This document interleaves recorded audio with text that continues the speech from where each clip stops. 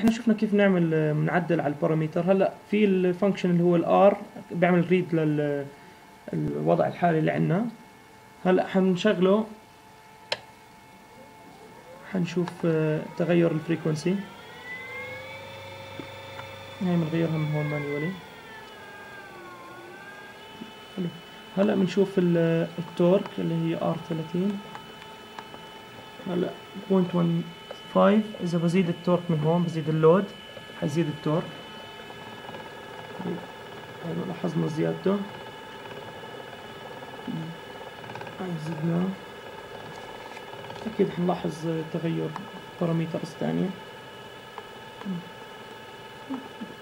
ال frequency تغيرت مع تغير ال- ال load. تغير